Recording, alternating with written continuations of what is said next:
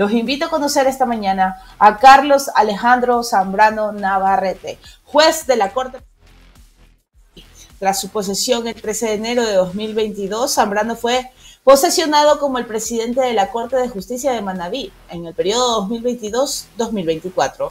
Luego de darse a conocer su vínculo con el caso Metástasis, su puesto fue ocupado por Carmita García Saltos. Ha ejercido cargos en la función judicial como secretario de Juzgado Noveno de la Familia en Bahía de Caracas.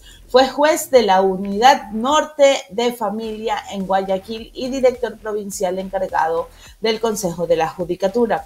En sus estudios, el registro de CENESID presenta como títulos licenciado en Ciencias Políticas y Sociales, abogado de los juzgados de los tribunales de la República y magíster en Derecho Constitucional. En el SRI no registra deudas. Ahora vamos viendo las láminas que tienen preparados los chicos. En la fiscalía hay un caso como sospechoso no reconocido en el delito de prevaricato de las o los jueces de árbitros y en 2018 sospechoso por delito de robo. Vamos a ver. Siguiente.